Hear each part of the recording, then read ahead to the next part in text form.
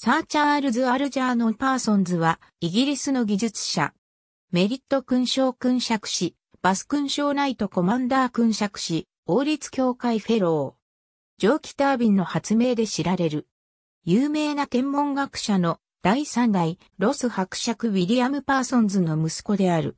ケンブリッジ大学セントジョンズカレッジで学び技術者になった。感染などの動力の分野、電気技術分野、工学装置の分野で活躍した。入荷するに自分の会社を設立した。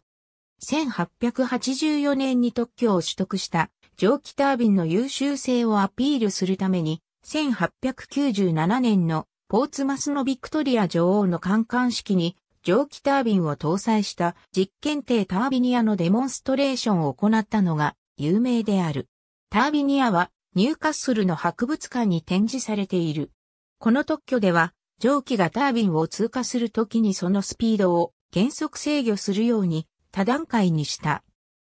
タービン翼の回転には蒸気が各段の翼を通過するときの反動力を利用し、従来のレシプロエンジンに比べ熱効率が圧倒的に良く、発電にも革新をもたらし、従来のダイナモ発電が1000から1500回転分だったが、パーソンズのタービンでは1万8000回転、分を実現した。パーソンズは独自のタービン発電機も製造し、イギリス諸島全土をはじめ、世界中に設置し始めた。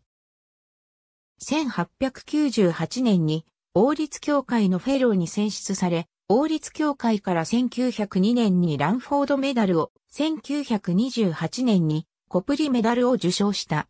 1904年にバス勲章コンパニオンを、1911年にバス勲章ナイトコマンダーを、1927年にメリット勲章を助勲された。1923年、シカゴに出力5万キロワットの当時世界最大の発電所の設計を受け負った。パーソンズ社は近年まで存続していたが、1990年代後半シーメンス社の子会社となった。パーソンズは初期の空気圧式蓄音機であるオーグゼタフォーンの開発者としても知られている。ありがとうございます。